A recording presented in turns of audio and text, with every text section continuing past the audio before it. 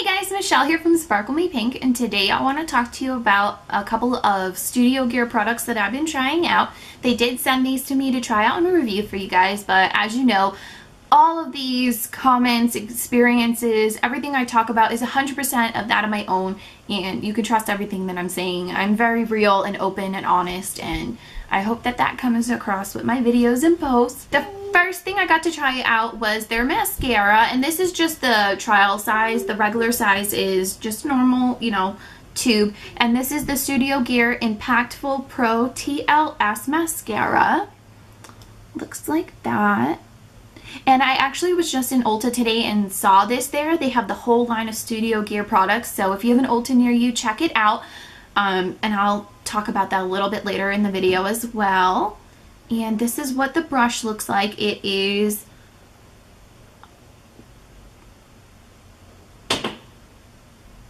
There we go. Um, the bristles are like a hair bristle, not a synthetic. I don't know if hair is the right word for it, but um, I really like that it's not a synthetic brush. And it also has that curvature where it's like straight and then it goes like in a little bit and then out and it really gets the outer corner of my eyelashes really well. I'll throw a little bit extra on right now. I love this formula and I'm definitely going to be getting the full size of this product soon. The next thing I got to try out was the, the Studio Gear Invincible Gel Eyeliner. This one is in graphite. It comes in like a little dish like this this is what it looks like in the tube. Now this, it's not going to stick to the, the water line, which is a good and a bad thing. I kind of use it to my advantage to uh, where I use like my angled brush like this and I'll put it on the water line, but since it won't stick, it kind of like glides to like right on my lash line. So it's kind of like a precision eyeliner. Like it's, I don't know if that's making any sense at all, but it kind of just gets this lower lash line and gives it a really straight line rather than me like if I don't want to do like a smoky eye look underneath. So it's like perfect for that.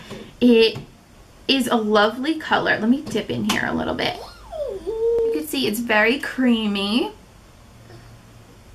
And I really love this color. I decided to get it in the graphite, which is sort of like a grayish color, grayish black. I believe that there's a true black as well.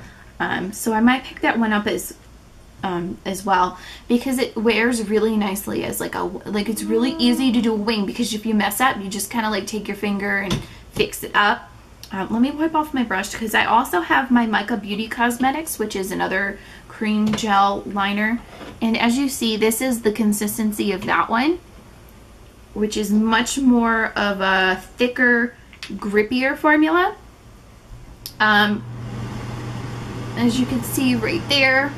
Um, this one right here is also a, a, true black, so try not to concentrate too much on the color differences, but you can see like the texture um, is a little bit different and a little stiffer with the Mica Beauty versus the Studio Gear. This one is much more creamier and a little more moldable. Uh, once it sets, it sets, it's there all day. I really, really like this stuff. I believe it comes in a purple too, and I really, I want to check that out if they have a purple, because I like to line my water, water line or um, like underneath the lash line here with like a dark blue or a purple. So if they have one of those, I'm going to be getting that. Let me clean myself. And the last product I got to try was one of their lip glosses, and this is the Studio Gears um, Luscious Lip Shine in Innocent. Innocent is the color name. And it looks like this. And it's got a bit of a sparkle into it, but it doesn't come across when you put it on the lip. I actually applied it earlier. Let's see. It's got just a little hint of color. Like a little hint of pink and it's not sticky at all. I really like this lip gloss, like a lot, like a lot, a lot. And it's got a little bit of a minty peppermint kind of like smell. I don't know. I can't really place what it is, but it kind of reminds me of Christmas, which I strangely I have this in my I Heart Spring favorites because even though it remind the scent reminds me of Christmas, I believe I feel like the color is just a dewy, pretty pink and is perfect for spring. This could probably go into summer too because it's not too bright and obnoxious, but it's not too deep like a Christmassy winter color. Um, I want to check out and see if there's like another like nude, like maybe a brown or a sandy color. Um, so I'm going to be looking at that probably later tonight. Also, like I was talking about before, they do sell these products at Ulta, so if you have one near you, check it out and you can kind of like, you know, play with the testers a little bit and see what color is good for you. They have a whole line of brushes, um, foundations, concealers, eyeshadows, all that kind of stuff too. Um, I haven't gotten to play around with any of them, so I don't really have a say on them yet, but I plan on checking them out. Um, like I was saying, check out Ulta, but then go home and check it out online because I have a special exclusive code where you can get a discount of 10% off. Plus, there's always free shipping with Studio Gear, so that is an amazing deal. You're not going to get 10% off at Ulta. This is in the like the fancy schmancy side of Ulta, like where they have like Urban Decay and Tarte and all that stuff, where you can't use their normal like 350 off 10 or 5 off 10 coupons. So the only way to get a discount is to use my coupon code which is Sparkle Me Pink 10. Check that out and let me know what you get in the comments below. Um, also, let me know if you do pick these things up and get to try them, what you think about them. You know, comment on the blog, comment on here. I want to hear what you think.